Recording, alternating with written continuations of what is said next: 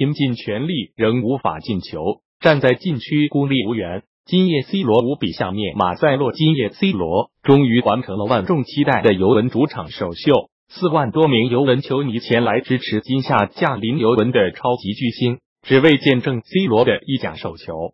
本场比赛，尤文依靠皮亚尼奇的远射以及曼朱基奇的进球，以二比零战胜来访的蓝鹰拉齐奥，取得联赛两连胜。然而，C 罗还是没有取得进球。本场比赛，C 罗表现不可谓不积极，无球跑位、扯开空间、精准传中、落叶球远射、门前抢点、前场逼抢，应有尽有，甚至连回防也经常能看到 C 罗的身影。C 罗确实想在主场观众面前拿出上佳表现，虽然没有进球，赛后贡献一个助攻并多次威胁球门的 C 罗，还是被评选为全场最佳。除了对方门将再次开挂之外，C 罗本场比赛也确实运气不佳，推射空门也撞到了脚后跟，进球变助攻。另外，比较严重的问题则是尤文全队严重缺乏默契。本场比赛至少有十几次直接传球给到对手，另外边路压上传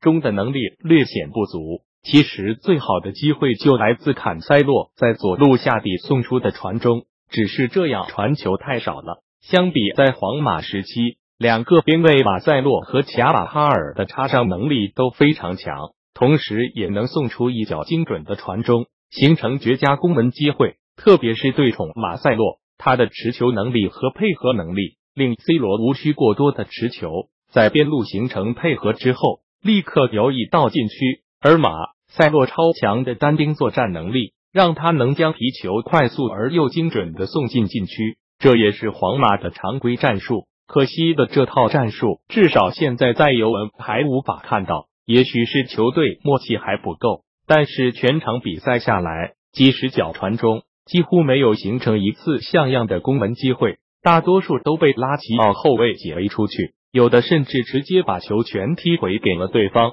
也许今夜孤零零站在禁区的 C 罗会无比想念皇马的好基友马塞洛吧。